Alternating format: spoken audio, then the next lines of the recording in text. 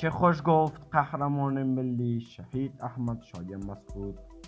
آرزو دارم مردم کشورم آزاد باشند. به نام خداوند بخشاینده مهربان به سرویس ابداعاتی ما خوش آمدین. هارون میر سعیدی در صفحه رسمی فیسبوک خود چنین می نویسد چه خوش گفت قهرمان ملی شهید احمد شای مسعود. آرزو دارم مردم کشور با هر تعلق قومی مذهبی زبانی و حزبی وحدت ملی و اتحاد خود را حفظ کنند و در سایه آن و با تکیه بر دین مبین اسلام شاهد پیروزی و اطلاع کشور خود باشند. آیا علم برداران دوشنبه به چنین اندیشه عقیده و باور دارند؟ و اگر باور دارند تا امروز در تحقق وحدت چقدر صادقانه گام های عملی برداشتند؟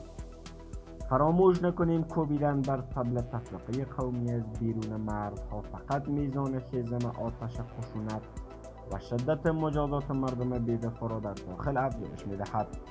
قهرمان ملی کشور شهید احمد شای مسعود دامن زدن به مسائل قومی را خیر و سعادت مردم نمی‌دانست و من الله توفیق.